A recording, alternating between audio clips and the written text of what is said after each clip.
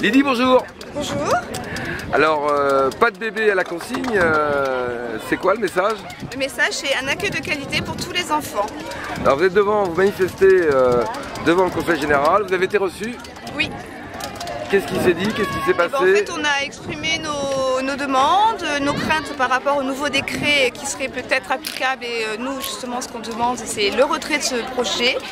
Et puis avoir euh, ben, une écoute de professionnels, une attention pour les enfants et les familles qu'on accueillera dans nos structures. Et re- rester sur le décret qu'on a obtenu depuis 2007. Vous avez l'impression d'avoir été entendu? Oui, on a été entendu, écouté, mais c'est vrai que c'est pas le Conseil général qui décide de- de- du décret d'application. Eux ne peuvent que l'appliquer. Mais dans ce qui en ressort, c'est qu'ils sont à l'écoute des professionnels. Ils sont eux-mêmes professionnels de la petite enfance et ne mettront pas en condition de danger euh, chaque enfant accueilli dans les structures. Merci. Le décret il vise euh, euh, sur plusieurs niveaux, notamment la question de l'encadrement des jeunes enfants par les professionnels, avec une diminution du nombre de personnels diplômés par rapport à ce qui était déjà appliqué. Il y a aussi une, un volet important, c'est la question du nombre d'enfants accueillis avec une augmentation du, nombre d'enfants par rapport à l'agrément. C'est-à-dire, par exemple, actuellement, le décret prévoit une augmentation d'accueil du nombre d'enfants de 20% par rapport à l'accueil de l'agrément avec bien sûr le même personnel.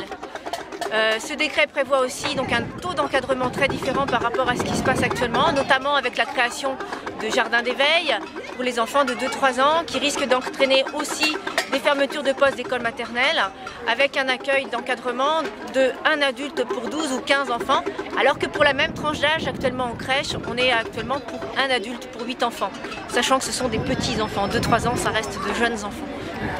Merci.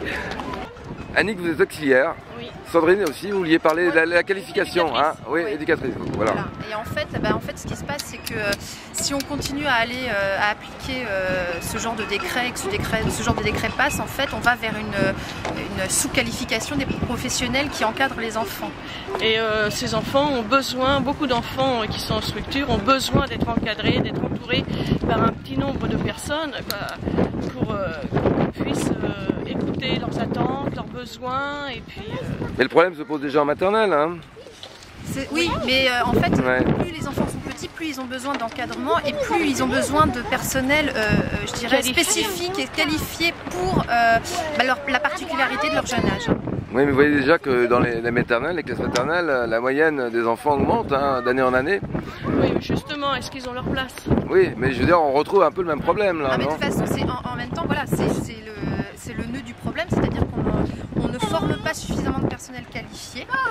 Et suite à, ce- à cette sous-qualification-là, de toute façon, on a des enfants qui vont moins bien et qui se retrouvent en maternelle avec dans un dans, quand il y a le nombre hein, et euh, qu'il n'y a pas en plus la qualité euh, de l'accueil, ben, on se retrouve avec des enfants qui vont très mal. Alors est-ce que le but c'est euh, de faire de la garderie Voilà. euh, ou de, De Ou de l'éveil, l'accompagnement et l'éveil, de l'éveil, ouais, ouais. L'accompagnement actif. Parce que je pense ouais. que les parents qui nous confient leurs enfants euh, attendent quand même une certaine qualité. donc voilà. Mm. Merci. De rien.